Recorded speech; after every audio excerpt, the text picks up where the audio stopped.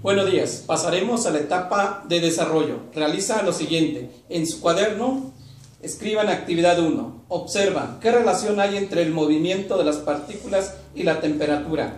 Material. Un frasco transparente con tapa. Pimienta molida. Procedimiento. Número 1. Llenen el frasco con agua y agreguen un poco de pimienta. Tápenlo bien. Número 2. Agiten el frasco para que la pimienta se incorpore al agua y déjenlo reposar. Observen lo que sucede con las partículas de pimienta. Número 3. Agiten nuevamente el frasco, pero ahora háganlo vigorosamente. Resultados y conclusiones. Número 1. Respondan en su cuaderno lo siguiente a partir de sus observaciones. Inciso A. ¿Cómo fue el movimiento de las partículas de pimienta cuando agitaron por primera vez el frasco? Y cuando lo agitaron vigorosamente. B. ¿Qué ocurre con las partículas de pimienta después